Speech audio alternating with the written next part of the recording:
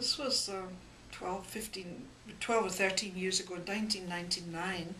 Uh, a good friend of mine called Jackie Elton, who was actually British, uh, I had met Jackie in India, where my husband and I lived and worked. She had come some 10, 15 years prior to that uh, as a student volunteer.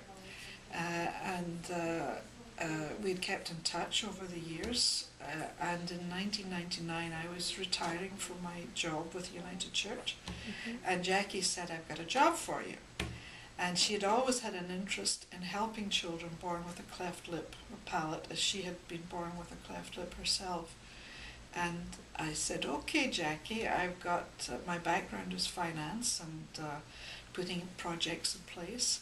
I said, uh, and she wanted it to be in Canada. She she was very busy, although she came from the UK. She was extremely busy there, and uh, I wasn't about going to England to work with her there. So she said, do it in Canada.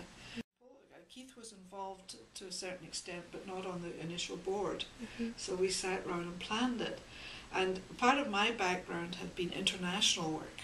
I had worked with the, the United Church in India for 25 years, and I had also been involved with a microfinance organization called Oikocredit. Mm-hmm. Uh, and uh, as a result of being on the international board of Oikocredit, I had visited many developing countries.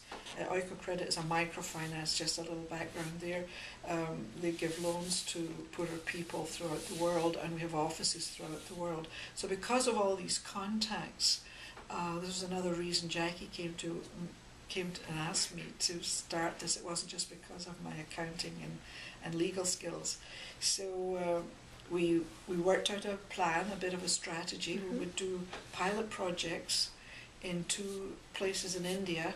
Uh, go to two organizations that I knew exceptionally well. I'd worked with the people, I'd helped with their accounts. Um, I knew the the situation of many of the their, their medical. The, they were both medical projects, and I realized that um, many of these kids had cleft lips and palate, but there was nobody there to help them. Mm-hmm. So we went to Pune, uh, Pune as it's called in India, and then another smaller city. Uh, and Jackie and I went November of 2000, uh, 1999 rather. Uh, we visited these projects. They said they would set up um, with the local surgeons and uh, uh, things started. We started with a few children in one place, and a few in one city, and a second number of children uh, in this rural area of uh, of Western India.